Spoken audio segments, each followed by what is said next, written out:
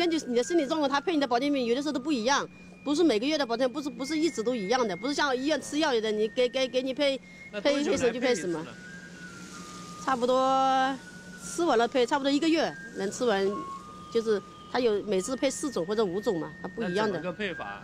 他就通过我口述就由他他说配什么我就吃什么。我本来我脸上以前斑特别特别多的，那现在是不是有点淡化了一点点呢？一模一样的，吃了根本上没一样。原来是这样的，现在还是这样。没有的，原来也是这样的，根本上没一点效果的。是不是因为每天生活在一起，每天看到，所以这个变化不？没有变化，一点变化没有变化。徐先生还拿出了一张妻子服用保健品之前的照片，他说前后根本没差别。保健品是妻子去年八月。通过一位卖化妆品和保健品的朋友购买的，保健品就是这种胶囊，还有日用品也是从那个朋友那儿买的，有洗手液、牙膏、牙刷等，有的产地在江苏，有的产地在广州。一万七千六，其中有四千块钱是日用品，就是比如说，呃，洗衣液啊，什么洗头发的。那你用着觉得怎么样？我觉得挺好的呀。那剩下的那些钱呢？是做什么用？剩下那些钱不是等于是一万七，还有一万三千六，不是要吃那个。保健品嘛，就就是对身体有好处的嘛。保健品，妻子平时都放在这个小盒子里，方便服用。生产商是江苏安慧生物科技有限公司。后来，这位朋友的店不开了，妻子又开始在东阳的一位倪女士那里拿货，还充了会员。徐先生说，充会员表面上说是以后买产品有优惠，但实际上是诱导会员去发展下线。他如果是。这个钱用完了之后，他会拉下零下一个零费过来做这个产品，这样上线拉下线是属于是传销，是等于是违法的。那直销也是要去拉人的，人传人的嘛。所以我目前还没去拉人，因为我自己还没感觉完全好。我我说等我完全好了，我再去介绍人家，人家才会相信你，对不对？拉另外一个人过来，他会给你提成呢，还是怎样的？对，公司会有奖励，说是两千八。一个人两千八。嗯。要一个会员两千八，不是一个人的，他要另外那个人也充一万七千六才两千八。杨女士说，保健品不是直接淡斑，是通过调节身体状况，间接达到淡斑效果，也不是一次性配齐，基本上是一个月一配，每次都是四五种胶囊，有利齿起灵菇胶囊、惠参胶囊等，主要起到抗氧化、抗衰老、调节免疫力和通便的作用。记者看不出这和淡斑有什么关系。杨女士说，其中惠参胶囊主要是治斑的。我想现在就是能肯定要退钱，不能全部这样一万七千六就这样白白的发发这么一点钱，骗了一万七千多块钱，我心里不甘。我觉得我老公在无理取闹。那个反正反正他觉得保健品都是骗人的，我就说现在吃都吃掉了，哪有什么退退退得了钱啊？说是吧？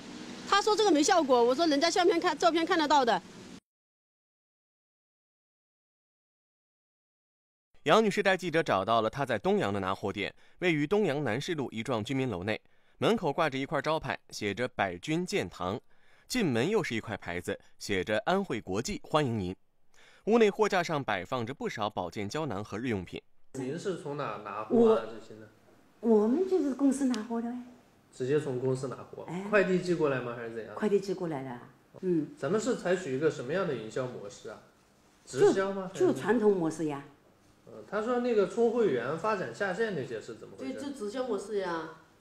没有没有没有没有没有，我们是一个传统的模式。他们办了会员以后呢，比如说会员吃完了，他们可以享受折扣。倪女士说自己也是经人介绍接触到了安徽的产品，从二零一二年开始做销售。便秘了非常的严重，然后是我一个亲戚告诉我，他说你这个沈阳云君你弄点吃吃，弄点吃吃的你会好。哎，吃吃了还真的好嘞。那您当时有充那个会员吗？我也有，也是充会员。嗯，什么时候充的？那个我早嘞，我是零九年那个时候。那个时候充多少钱？我是五千来块钱。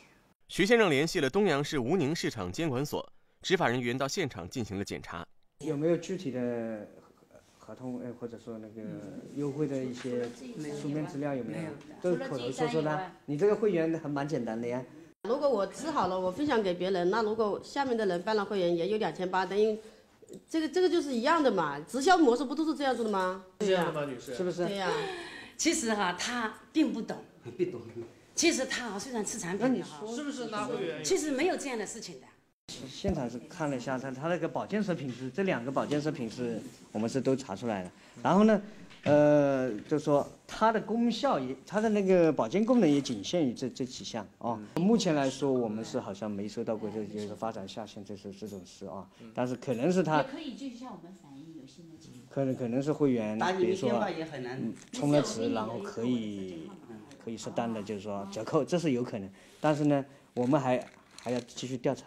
一月十一号，徐先生向记者反馈说，一万七千六的会员费，倪老板退了他们八千两百元，还有妻子背着他在那里买的一台一万三千九百元的空气净化器也退掉了。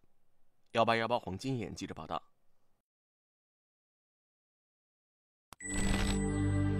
关注幺八八黄金眼，看百态人间事。